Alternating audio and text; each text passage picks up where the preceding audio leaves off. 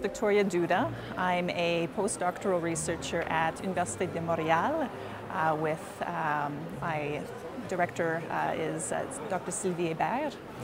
And uh, my research is on um, gaps in noise uh, and um, something called temporal resolution, which is our ability to detect small spaces of silence in sound.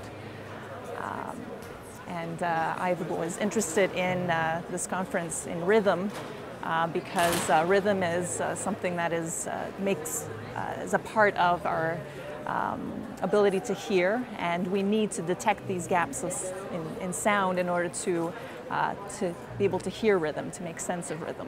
For me, rhythm uh, is uh, something that connects us to other people. Uh, in audiology and hearing, uh, it is our ability to hear our environment around us. Uh, and there are certain people that have difficulties hearing, not necessarily because they have a hearing loss, but because there's something that's preventing them from being able to hear. And uh, one group in particular that's been uh, of interest to, to me uh, is uh, people who have tinnitus, which is a constant sound in their ears that they hear uh, that separates them from their world. So for me, that's, uh, that's something that's important and that hasn't been addressed. So the, what motivated me is this idea of rhythm. Rhythm is uh, something that is related to uh, sound uh, in, in the world of audiology.